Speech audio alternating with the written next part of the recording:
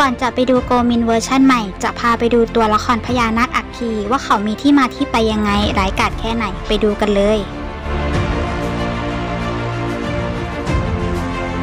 อักคีเป็นลูกชายคนเดียวของกโตหนพญานาคราชผู้ยิ่งใหญ่แห่งนครบาดาลซึ่งเป็นที่เคารพยำเกรงของผู้คนทั่วไป อักคีมีนิสัยที่เอาแต่ใจ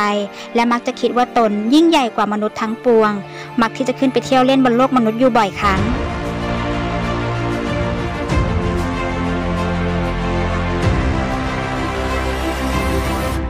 มื่อได้พบกับโกมินก็ได้ปะทะคารมกัน แล้วก็ได้เปิดฉากต่อสู้กันต่างฝ่ายต่างก็ไม่ยอมกัน แต่สุดท้ายอักคีก็ได้ถูกกำไลหยกของโกมินลัดตัว โกมินให้อักคียอมรับในความพ่ายแพ้ซะ แล้วตนจะปล่อย แต่อักคีก็ไม่ยอมเสียศักดิ์ศรีไม่ยอมแพ้ จึงได้ถูกกำไลหยกลัดจนตาย การตายของอักคีนำความโกรธแค้นมาให้กับกโตหน จึงได้ยกพวกบุกุสินคร แล้วก็จะฆ่าโกมินเพื่อแก้แค้นให้อักคี แต่ก็ต้องพ่ายแพ้ให้กับโกมิน แถมยังถูกโกมินบังคับให้แปลงร่างเป็นงูเขียว อีกทั้งต้องสัญญากับโกมินว่าจะไม่มารุกรานชาวกุสินครอีก กโตหนจึงต้องจำใจยอมรับความพ่ายแพ้ให้สัญญากับโกมิน แต่กโตหนก็หาได้รักษาสัจจะไม่ ไปฟ้องพวกพี่น้องพญานาค แล้วก็พากันยกกองทัพพญานาค บุกกุสินคร เพื่อให้โกมินต้องรับผิดชอบด้วยชีวิตจึงจะพอใจ โกมินเห็นว่าเป็นทางเดียวที่จะจบปัญหาทุกอย่างได้ จึงได้ยอมกรีดเลือดเฉือนเนื้อควักหัวใจให้พญานาค แล้วก็จบชีวิตตัวเอง พวกพญานาคพอใจจึงได้พากันกลับไป แล้วพวกพญานาคก็ได้ทำการชุบชีวิตอัคคีขึ้นมา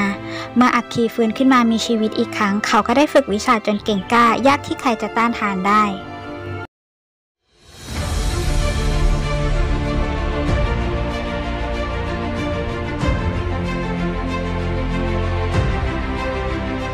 พญานาคอัคคีเวอร์ชั่นเก่าปี 2547 แสดงโดยธนากรปาตัน น่าเสียดายที่เขาได้เล่นแค่ไม่กี่เรื่องเท่านั้นเอง ซึ่งก่อนที่เขาจะมารับบทพญานาคอัคคี เขาก็เคยเป็นงูเขียวมาก่อนในอุทัยเทวีปี 45